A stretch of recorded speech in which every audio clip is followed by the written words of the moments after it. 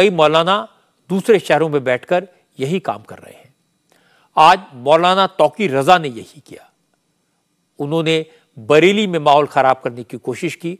बरेली में बैठकर मौलाना तौकी रजा ने हल्द्वानी के दंगे पर कमेंट किए। अब किसी किस्म का बुलडोजर बर्दाश्त नहीं किया जाएगा। हम जितना अपने नौजवानों को कंट्रोल कर सकते थे कर चुके हैं। अब हल्द्वानी में जो रिएक्शन दिया गया है, उसके नतज आपने देख लिए। अगर ज़बरदस्ती वहाँ बुलडोजर ना चलाए तो धामी उसका जिम्मेदार है। धामी के खिलाफ उस एफआईआर होनी चाहिए, उसे गिरफ़्तार किया जाना चाहिए। और जिन लोगों की वहाँ संपत्ति नष्ट हुई है, उन लोगों की संपत्ति धामी की जायदाद जब्त करके उससे उसकी भरपाई की जानी चाहिए। तौकी रजा जहरीली बातों के ज़रिए मुस्लिम नौजवानों को भड़काने की कोशिश कर रहे हैं। आज उन्होंने बरेली में जेल भरो आंदोलन की कॉल दी थी। सैकड़ों लोगों को इकट्ठा किया। सड़कों पर सरकार के खिलाफ नारेबाजी की। मजहबी नारे लगवाए। तोकी रजा का कहना है कि मुसलमानों ने अयोध्या में समझौता कर लिया, लेकिन अब काशी और मथुरा पर खामोश नहीं बैठेंगे। मुसलमान सड़कों पर उतरेंगे। चूँकि मौलाना तोकी रजा अपनी ताकत दिखाना चाहते थे, अफसरों ने समझाया लेकिन मौलाना नहीं माने। उन्होंने कहा कि हज़ारों की भीड़ इस्लामिया मैदान तक जाएगी, वहीं गिरफ्तारी देगी। लेकिन पुलिस ने इस्लामिया मैदान को कल शाम से ही सील कर दिया था। पुलिस फोर्स के अलावा पीएसी और आरएएफ को भी मौके पर तैनात कर दिया गया था। तोकी रजा जब आला हज़रत मस्जिद पहुँचे तो वहीं पर उन्हें सिंबॉलिक तरीके से गिरफ़्तार किया गया और फिर छोड़ दिया गया। मौलाना को लगा कि पुलिस नरम पड़ गई तो उन्होंने फिर वही काम किया जो पहले भी कई बार कर चुके हैं। कैमरों के सामने जमकर जहर उगला, मोदी योगी को मुसलमानों का दुश्मन बताया, अदालतों को सरकार का गुलाम बताया और विश्व हिंदू परिषद और बजरंग दल को आतंकवादी संगठन करार दी थी तोकी रजा ने कहा अब नौजवानों को रोकना किसी के बस की बात नहीं है। विश्व हिंदू परिषद और बजरंग दल जैसे संगठन हुकूमत की सरपरस्ती में जो बेईमानी कर रहे हैं, हिंदुस्तान की अदलिया हुकूमत के दबाव में जो बेईमानी कर रही है, मैं देख रहा हूँ कि हुकूमत भी और अदालतें भी आज कानून के मुताबिक काम नहीं कर रही है, बल्कि अपनी आस्था के मुताबिक काम कर रही है। और अपनी आस्था ज़बरदस्ती मुसलमानों पर थोपने की कोशिश की जा रही है।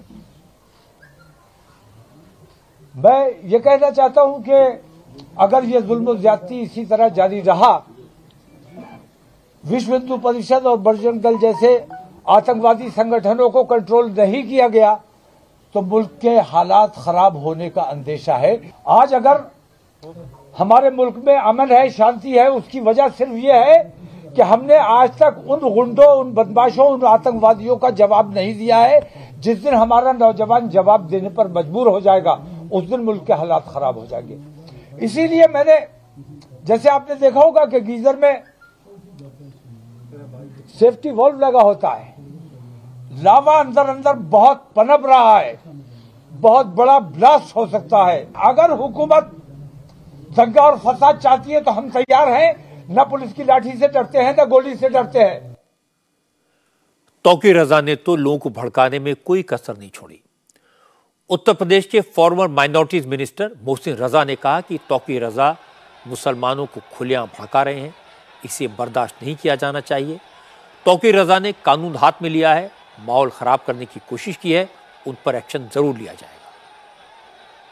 तोकी रजा ने वहाँ पर तमाम नमाजियों को भड़काने का काम किया। उनको सड़क पर निकालने का काम किया। कानून अपना काम करेगा, कानून के खिलाफ जो भी आएगा, उसके खिलाफ कड़ी कार्रवाई होगी। और जहाँ तक बात की जाए तोक़ी रजा की तो ये कांग्रेस के इशारे पर तोक़ी रजा ने काम किया है। और विपक्ष भी इसमें शामिल है। विपक्ष के कई दल शामिल हैं। जो भी लोग उस उपद्रव में शामिल हैं, अगर बाहर से आए थे, वो भी जाँच करेगी वहाँ की एजेंसियाँ, और जाँच करने के बाद उन पर भी कार्रवाई होगी, और तोक़ी रजा पर तो डेफिनेट कार्रवाई होगी होगी। कानून हाथ में लेंगे आप लोगों को सड़क पर निकालेंगे इनोसेंट लोगों को नमाजियों को आप सड़क पर पत्थर चलवाएँगे और अपने को मौलाना कहलवाएँगे। और मुसलमानों को बदनाम करने का काम करेंगे आप। आप दंगा कराएँगे, आप जेल जाएँगे, दंगा नहीं करा पाएँगे आप। तौकी रजा के बुलावे पर भीड़ तो आई। पुलिस की सख्ती के बाद शांति से लोग वापस भी लौट गए। यहाँ तक सब कुछ ठीक था। लेकिन इसके बाद तोकी रजा के भड़काऊ बयानों का असर हुआ।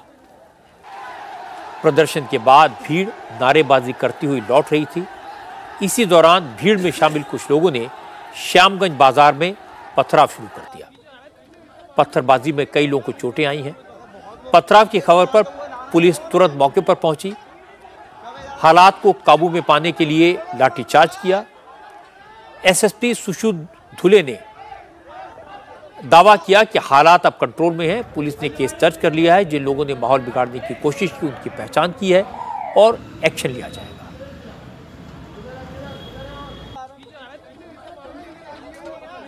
बरेली जैसी तस्वीरें कोलकाता से भी आई। कोलकाता में जमीत उलमा हिंद की बंगाल यूनिट ने रैली निकाली। राजा बाज़ार मस्जिद में जुमे के नमाज़ के बाद जुलूस शुरू हुआ।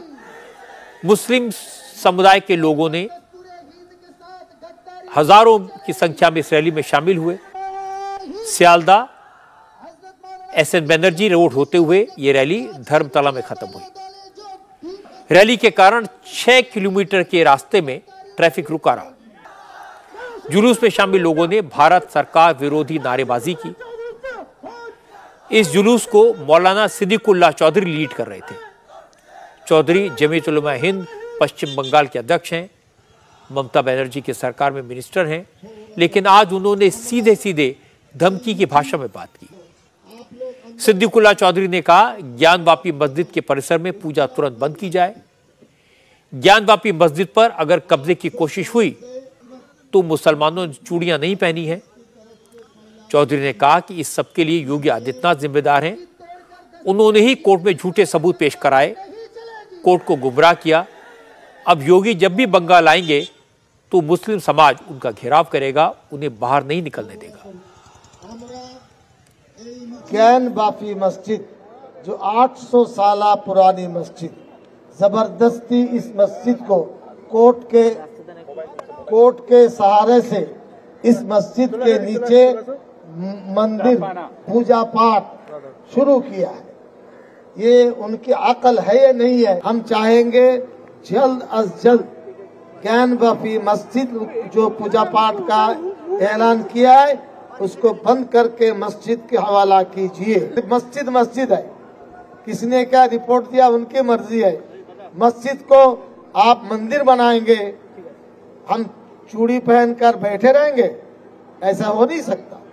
यूपी हुकूमत जोगी ताकत इस्तेमाल किया है। अगर यूपी का चीफ मिनिस्टर आया, ज़बरदस्त घिराव करेंगे कहीं बैठेंगे तो निकलने नहीं देंगे। इंशाल्लाह हम भी विरोध करेंगे, बताएँगे कि बंगाल में क्या रस है और क्या गुण है।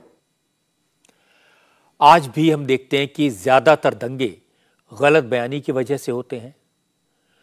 लोगों को भड़काने वाले भाषणों से होते हैं, गुमराह करने से होते हैं और ऐसे बयानों की शुरुआत जुमे के दिन, नमाज़ के दिन होती है। और आजकल इंटरनेट है भड़काने वाले बयान बहुत तेज़ी से वायरल हो जाते हैं। और फिर जो लोग राजनीति में हैं, वो भी इसका जमकर इस्तेमाल करते हैं। जो लोग अपने स्वार्थ के लिए लोगों को प्रवोक करते हैं, उनकी लीडरी तो चमक जाती है, पर नुकसान आम लोगों का होता है। प्रॉपर्टी पब्लिक की जलती है, नुकसान पुलिस का भी होता है। दंगों का यह पैटर्न हल्द्वानी में भी था, बरेली में भी, और हमेशा से ही ऐसा होता आया है।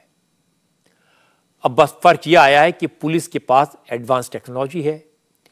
वीडियो फुटेज के आधार पर दंगा करने वालों को आइडेंटिफाई किया जाता है, उन पर केस बनाया जाता है, और पुलिस सबूतों के साथ अपनी बात प्रूव भी कर सकती है।